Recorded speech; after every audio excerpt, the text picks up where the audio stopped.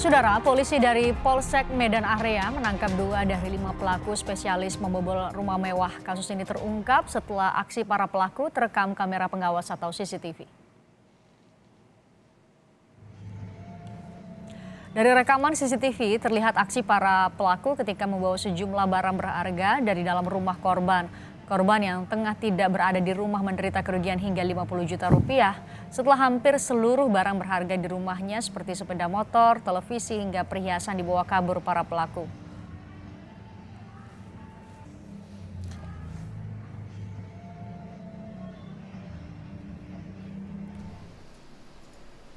Polisi yang bergerak cepat langsung menangkap dua dari lima pelaku. Mereka ditangkap di sebuah warung internet atau ketika sedang bermain judi online.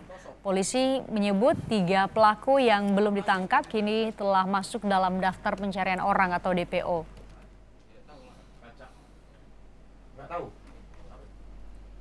Mereka ada yang peran langsung masuk dan ada peran yang untuk memantau di luar.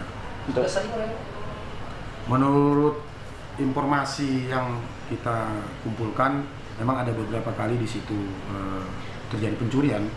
Namun ini mereka setelah kita interogasi masih mengaku satu kali melaksanakan pencurian. Untuk tiga orang rekannya itu? Untuk tiga orang rekannya sekarang kita terbitkan DPO kita cari di sekitaran wilayah hukum Polres Tabes Medan